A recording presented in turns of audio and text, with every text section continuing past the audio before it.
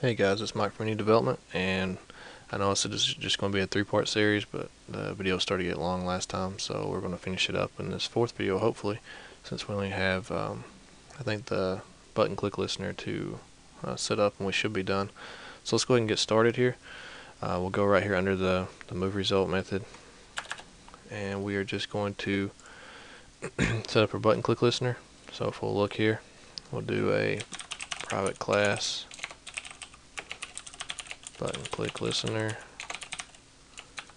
uh, implements view dot um, on click listener.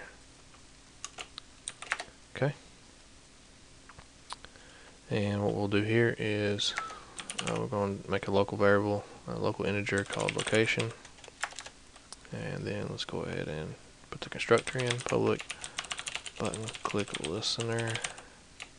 And we're going to you remember, we're passing in uh, a parameter here. If we go up to right here, so every button that we put in our button, game buttons array, we're attaching a button click listener and passing in the index of that button as a parameter.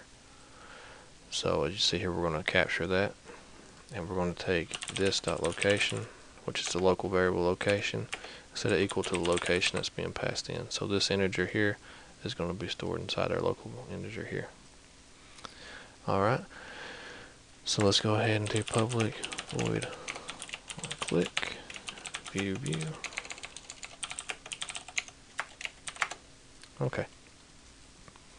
So now, uh, when we actually click on the button, what's going to happen? Well, first thing is we need to make sure the game's not over. So, because if the game's over, we don't want nothing to happen when I click on the button. So, if game over, so if the game is over, then, or if the game is not over, sorry, we're going to perform a few things here.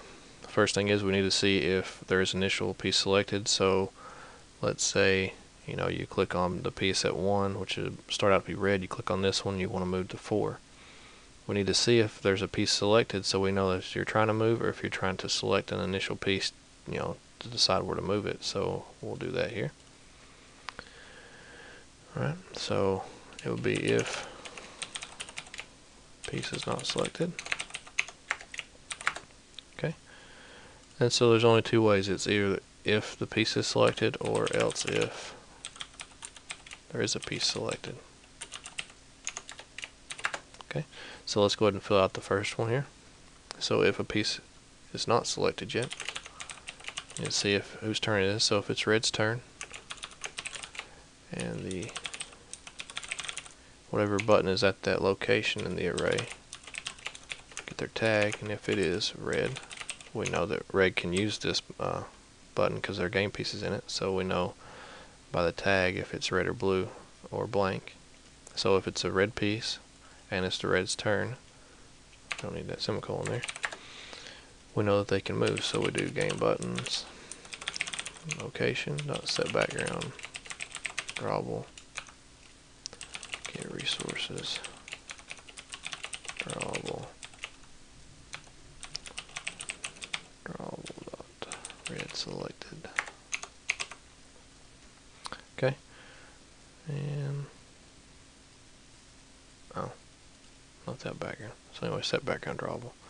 Okay so we'll set that to red selected which is the red circle with the yellow uh, border around it to show that it's the one being selected. We're going to set the start location equal to the location. So whatever that index was it was passed in. And then we're going to set piece selected equal to true. Okay, so we need to copy this.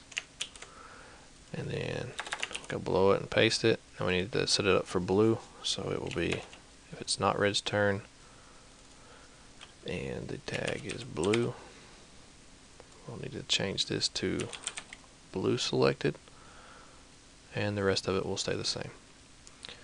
Okay, so that takes care of if there's not a piece selected. So if there's not a piece selected, we'll be able to select one now. But if the game is not over and there is a piece selected, what do we need to do?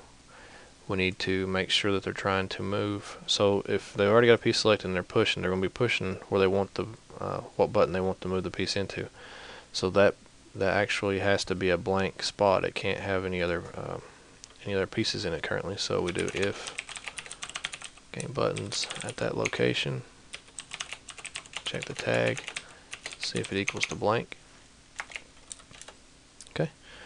So if it is a blank spot they're trying to move into, then we need to make sure that they can actually move to it. We don't want to be able to jump all the way across the board. They have to be able to only move to the specific uh, places that are adjacent to them. So to do that, we're just going to do a switch statement with start location. Okay, so we're going to do a total of nine of these. So let's just do case zero break. Let's go ahead and copy and paste these. Three, four, five, six, seven, eight. I think I might need one more. We'll see. So one, two, three, four, five, six, seven. Yep. Okay. And eight. Alright, so let's look at how we're going to do this logic here. So if they're at zero, which is here, so if they've clicked the button and they're trying to move into zero, what we need to make sure of is um, need to make sure that they can move to either 1, 3, or 4 only if it's a blank spot. Okay, so the valid moves are so location valid move was 1 so you do 1 or if location is equal to 3 or location is equal equal to 4. So if that's true, what has to happen? Okay, so if we look at this again, just real quick, to make sure everybody understands what we're doing. Alright, so their starting location, so the button that they clicked on is at 0. Okay, where are they trying, because I think I explained it, may have explained it wrong the first time. So start location is 0, so they clicked on this button. The only places that they can click on now to move would be 1, 3, and 4. So we've done that here. If the location that they're clicking on now is 1, 3, or 4, we need to just make sure, and we know that it's blank, we need to go ahead and decide whose turn it is and put that piece in there. So if it's red turn, and game buttons, start location, get tag, equals red. Make sure that for some reason the tag's not blue. So if it's red turn and the initial button was pressed was red, we'll go ahead and set the move to red, start location and location. Okay. And after we set the move we need to check the move result. Okay. Which is we set those up in the previous video. So we're going to go ahead and set the move and then check and see if somebody won. And if they did or did not, then we'll go from there. So that's if it's red. Let's go ahead and copy this and paste it. If it's not red's turn, blue, then we'll change this to blue. Okay. So now that's got that and we'll go into the break here. So what we got to do now is we can just copy this if statement and all this down to the break there and we'll just paste it in here. So like this, tab it over. Alright, so alright, so they've clicked on the button at 1. Where can they move? They can move to 0, 2, 3, 4, and 5 you know, if they're blank, which we already checked for. So 0, 2, 3, 4, and 5. Okay, so if that's true. Alright, so this one's got a few more locations in it, so let's copy this one. Alright, we'll go into 2 here. Okay. So if we pull this up again, if they've clicked on a button in 2, they can move to 1, 4, and 5. So 1 and 4 and 5 is there. So you do 1, 4, and 5. Alright. So let's go to case three. Alright, so if they've clicked on something in three, they can go to zero, one, four, six, and seven. Zero, one, four, six, and seven. Alright. If it's four. Alright, so if it's four, they can pretty much go anywhere on the board that's blank, except for in their own spot. So, zero, one, two, three, five, six, seven, eight. Alright. So, set that up. Zero, whoops. Zero, one, two, three, five, six, seven, or eight. Alright. So now if it, they start at five, so they start at five, they can go to one, two, four, seven, and eight. One, two, four, seven, eight. Alright.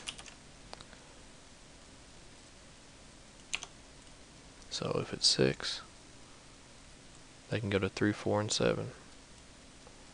So they can go to three, four, and seven.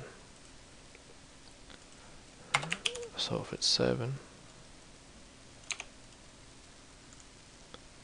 if it's seven, they can go to three, four, five, six, and eight. So three, four, five, six, and eight. And if it is eight, they can go to four, five, and seven. So we only need three. With the top two, they can go to four, five, and seven. I believe is what we said. Make sure. Four, five, and seven. Yep. Okay, so that's got that. And that's all we need to do for that. And I think that was the final thing we needed to do in our game. So let's give it a try just to make sure that we didn't forget anything. So let's go ahead and save all. And we will click run. Use the emulator. Okay. Alright, so it's Red's turn. Click a button. Click over. It says red wins, which is not true, so we've done something wrong in our logic. So let's go find out what we did wrong.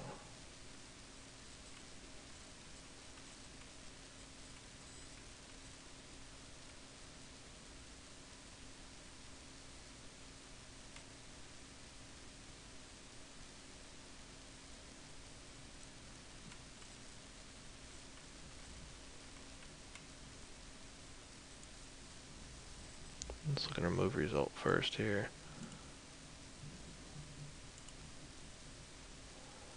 So let's open up our gameboard.java file. And we need to make sure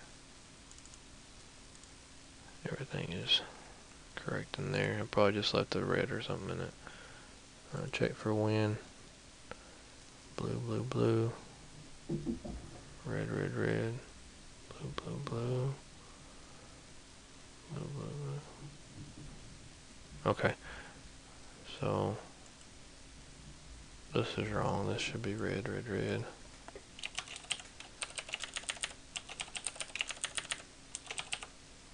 Okay. So vertical wins right here for something that's probably went wrong. So let's see. Red, red, red. Blue, blue, blue. Yeah, that's right.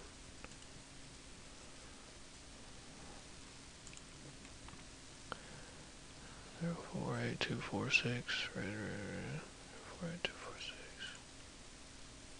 So maybe that right there was. Oh, okay. The bottom row was full of red pieces. That was what was causing the problem. As soon as we moved, where these were blue, the bottom row was always blue, so it was going to say it. Okay. So let's try that again. Sorry about that. Upper emulator, so we'll you need to change that in your code. Alright, so let's see. Red's turn, click and move. Blue's turn, click and move. Red's turn, blue's turn. We'll try to get it red to win. Like that. Red wins. Try our new game out. Alright, blue goes first this time. Try to get a diagonal win here.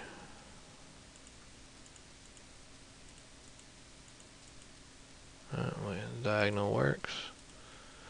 And now let's try to just uh, move our pieces. Oh, well, it works in the center too, I guess.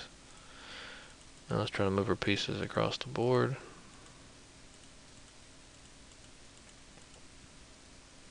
Well, if I could not win there. Alright, let's try this one more time.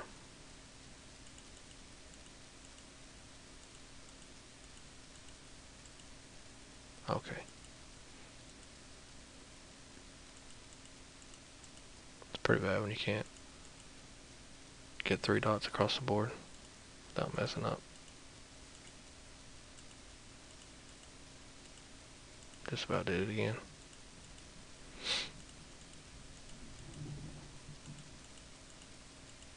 Alright, so blue wins. So if you get them across the board, they'll win now. Alright, so everything appears to be working. Um, so sorry for the hiccup there in the uh, the logic that was checking the pieces. Um, sorry that you had to go back and change that and all, but everything seems to be working and hopefully this is something what you was looking for because I know you wanted I think you wanted something similar to the the tic-tac-toe game. So this kind of breaks off of that code keeps it kind of similar to that. Um, just let me know uh, on the forums or comment or, or however you want to do it. Let me know if that was actually this was helpful and what you was looking for and if anybody else needs any help on anything just uh, let me know make sure you guys go to the website and become part of the community and and start posting on the forums and stuff, and I will talk to you there. Thanks.